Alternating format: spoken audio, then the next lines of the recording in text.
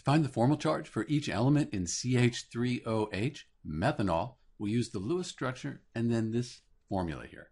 So let's do the hydrogen first. Hydrogen, group 1 has one valence electron, subtracting the unbonded, all these electrons here, they're involved in a chemical bond, so zero unbonded, and then one half of the bonded, these two right here. So 1 minus 0 minus 1, that gives us formal charge of 0. So the formal charge on each hydrogen, that's going to be 0. Carbon is in group 14, sometimes called 4a. It has four valence electrons and then unbonded. Each of these pairs of electrons, they're involved in chemical bonds. So we don't have any unbonded valence electrons. And then we'll subtract one half of the bonded.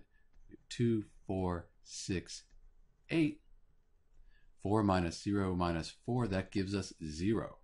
So the formal charge on the carbon is 0. Finally, let's do the oxygen here. So we have oxygen. Looking on the periodic table, oxygen's in group 16, sometimes called 6a. It has six valence electrons. Subtract the unbonded. We have a pair here and a pair here. These are unbonded because they're not between atoms, so they're not involved in a chemical bond. We have two, four of those. And then we subtract the bonded valence electrons. We have two, four of those divided by two. So 6 minus 4, that's 2, minus 2, that's 0. So the formal charge on this oxygen here is 0 as well.